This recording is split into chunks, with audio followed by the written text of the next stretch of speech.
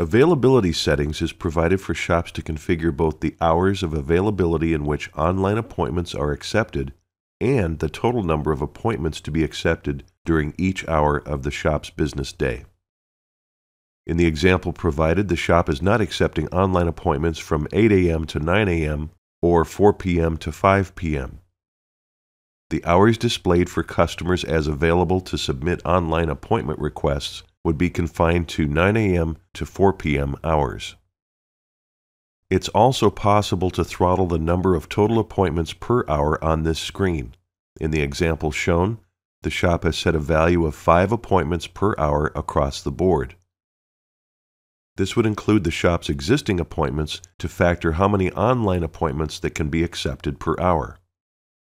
For example, if the shop already had three appointments between 9 a.m. and 10 a.m., then only two appointment slots would be available for customers to book an online request.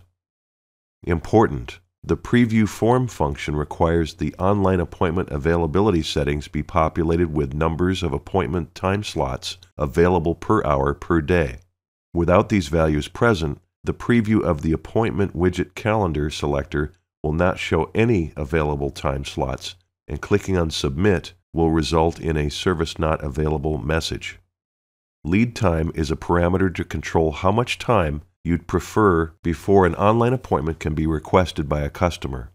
This allows the shop time to process the appointment request as well as prepare for the customer's arrival.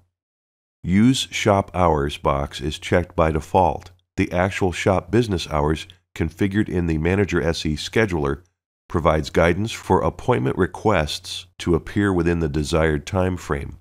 If this box was unchecked, it would allow appointments to appear outside shop hours available, basically a 24 hour day. For more detailed information, please refer to the user guide available by clicking Help, Documentation, and selecting Online Appointments User Guide.